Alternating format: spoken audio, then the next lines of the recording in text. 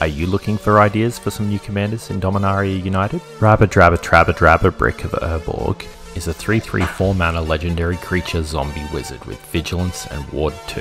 It also has other zombies you control have Vigilance. Whenever another legendary creature you control dies, create a token that's a copy of that creature, except it's not legendary and it's a 2-2 black zombie in addition to its other colours and types. These cards work really well in the deck, and here's a few more creative choices. We're going to take advantage of recurring legendary creatures ETB effects as well as a whole bunch of unfair aristocrats shenanigans. Don't be scared to get those loops going, and sack outlets are going to be our best friend for this commander. Rounding out the deck are these last few suggestions.